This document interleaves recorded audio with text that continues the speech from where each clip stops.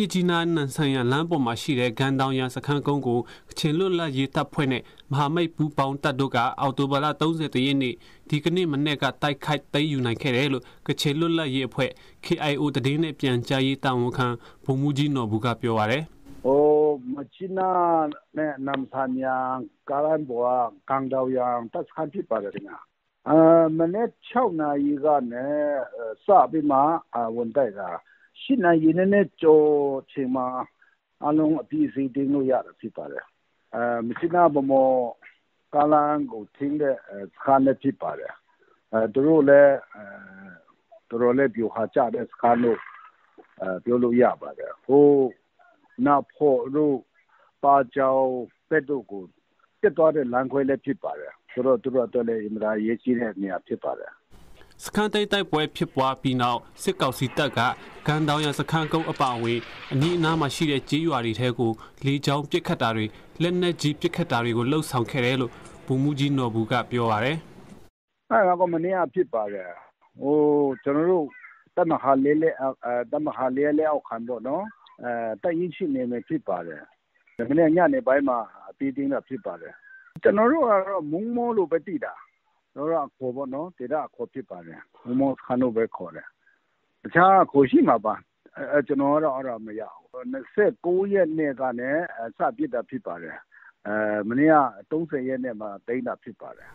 ကန်တောင်ရစခန်းတိန်းတိုက်ပွဲမှာ KIA နဲ့အတူ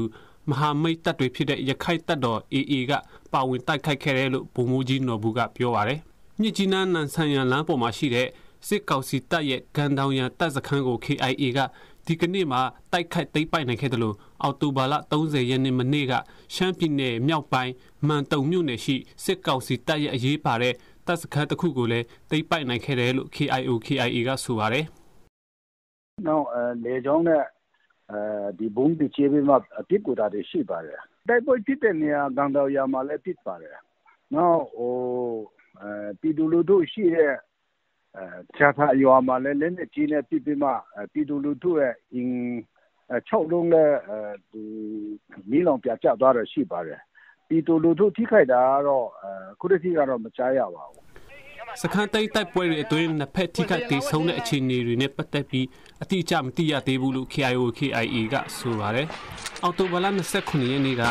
3029စစ်စီရေးစတင်လိုက်တယ်လို့ညီနောင်မဟာမိတ်သုံးဖွဲ့ကကြေညာလိုက်တာနဲ့တပြိုင်တည်းရှမ်းပြည်နယ်မြောက်ပိုင်းနဲ့ကချင်ပြည်နယ်တို့မှာတိုက်ပွဲတွေပြင်းပြင်းထန်ထန်ဖြစ်ပွားလာခဲ့ပါတယ်။ ရှမ်းပြည်နယ်မြောက်ပိုင်းမှာညီနောင်မဟာမိတ်အဖွဲ့တွေဖြစ်တဲ့ကိုကန့်တပ်မတော် MNDAA တအောင်းအမျိုးသားလွတ်မြောက်ရေးတပ်မတော် TNLA နဲ့ရခိုင်တပ်တော် AA တို့ကစစ်ကောင်စီတပ်ရဲ့တပ်စခန်း80ကျော်ကိုတိုက်ခိုက်သိမ်းပိုက်ထားနိုင်တယ်လို့ကချင်ပြည်နယ်မှာလည်း KIA နဲ့အတူညီနာမဟာမိတ်အဖွဲ့ဝင်ဖြစ်တဲ့ရခိုင်တပ်တော် AA ကစစ်ကောင်စီရဲ့တပ်စခန်းကိုဒီကနေ့မနက်မှာတိုက်ခိုက်သိမ်းပိုက်နိုင်လိုက်တာဖြစ်ပါတယ်။